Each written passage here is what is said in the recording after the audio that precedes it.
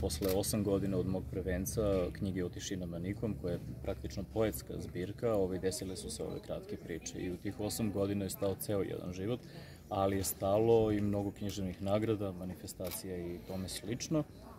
Ova knjiga se generalno ne bavi konkretnim stvarima u smislu imena, zastava i nikakvih ideologija, ali se vrlo bavi sinhronicitetima, znakovima po putu, ako hoćete, Andriđevski,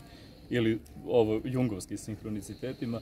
tako da mislim da ovde svako može da nađe nešto za sebe. E, nije baš zahvalno da autor sam sad proceni zrelost svog dela, ali ja vidim da se razlikuje i u suštini nastajale nešto duže od onoga što je planirano, ali negde sam ja prosto bio u redu sa tim i negde me proces vukao u svom ritmu, tako da mislim da je sve dobro ispalo Knjiga govori o svesnom posmatraču, o jednoj svesnoj individui koja praktično živi svoj život vrlo osvešćeno i koja prati znakove pored puta. Prati koincidencije koje u jednom trenutku budu tako fantastične da nismo sigurni da je koincidencija, nego je vid promisli.